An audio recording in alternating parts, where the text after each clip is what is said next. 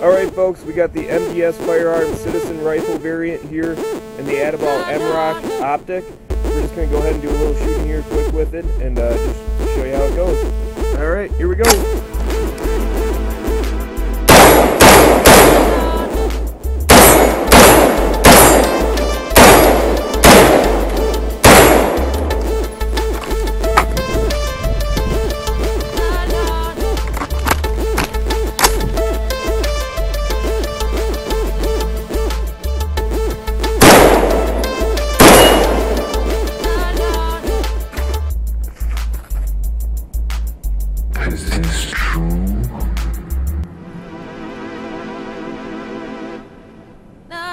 No.